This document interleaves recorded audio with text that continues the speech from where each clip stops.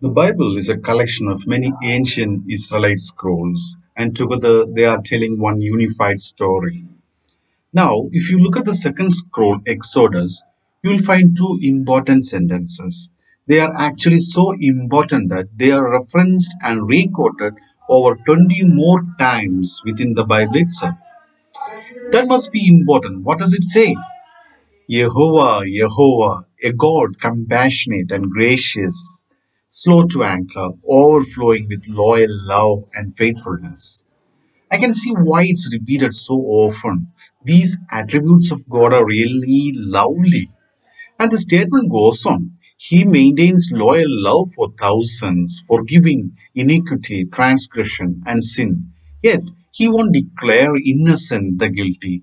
He will bring the iniquities of the fathers upon the children and grandchildren to the third and the fourth. Okay, hold on. This last part takes a bit of a turn. We are first talking about God's love, and suddenly it's about this judgment on grandkids. So, is God merciful or vengeful? Yeah, great question, right?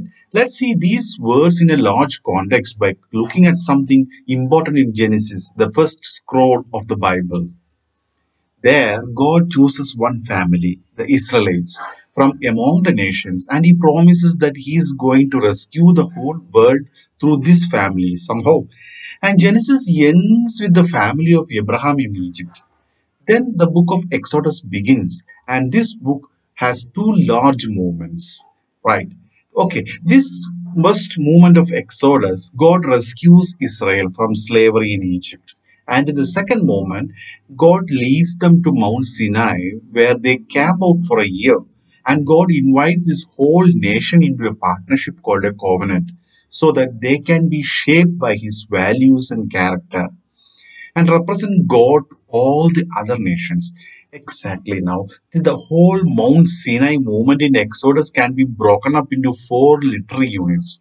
First, there is the actual ceremony where the Israelites agree to be God's partners, and God sets up the terms of the relationship, starting with the Ten Commandments. The first two are don't give your allegiance to other gods and don't make any idol images of God. Seems simple enough. After that, God shows Moses detailed blueprints for building this sacred home so that God can come and live among them. Right. And then comes a really long narrative about the building of that sacred home. But you miss something. Right in between these sections is a story that has a description about God's character. This story begins with Moses going up on the mountain, writing down the partner agreement as the Israelites are at the base of the mountain, violating the first two commands. That's ridiculous, no? They are breaking the covenant vows while the ceremony is still going on. Yes. And so God is hurt and angry. And he wants Moses that this betrayal will keep on happening. God is ready to call it quits. But what about his promise to rescue, rescue the world through them? But uh, exactly, this is what Moses brings up. And so, what is God going to do? Should he, he end the partnership, which will be fair, or will be faithful to his promise to Abraham and show the mercy? Yeah, exactly. Now look back at the verse that we began with, and you will see that about this very tension between God's mercy and his justice. Okay, so the statement opens like this A God compassionate and gracious. In Hebrew, this line has three words that rhyme. El Rakum Vekanum, and the line overflowing with loyal love and faithfulness matches the first, as it also has three Hebrew words Rab Kesed Vimat. Each of these lines have two attributes of God and they surround a fifth attribute that God is slow to anger. Right. And now that's the first half of the description of God. Then comes the second half. God maintains loyal love for thousands and how he is going to remain loyal to people who keep rebelling against him by forgiving iniquity, transgression, and sin. But God's forgiveness don't mean people can just do whatever they want. God's mercy is balanced in what follows, yet he won't declare innocent the guilty. He'll bring the iniquities of the father upon the children and grandchildren to the third and the fourth. The third and the fourth, what? Well, it's referring to generations of people who repeat their ancestors' rebellion against God.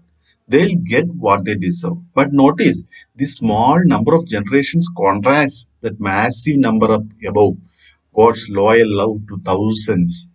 And then check this out God's forgiveness of iniquity in this line is contrasted with his justice on iniquity in, his, in this line.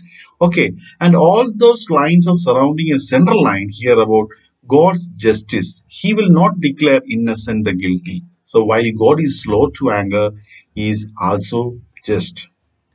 This is the tension that these two sentences are exploring. How does a faithful and loyal God deal with such a rebellious people? This is the challenge God faces in this story, and it's the same challenge he faces in the whole biblical story as he works to rescue the world through this family. With that in mind, we can take a closer look at these five attributes that God declares about himself to Moses a God compassionate and gracious, slow to anger, overflowing in loyal love and faithfulness. And we'll see how each one leads us deeper into the character of God and into the story of the Bible. Thank you.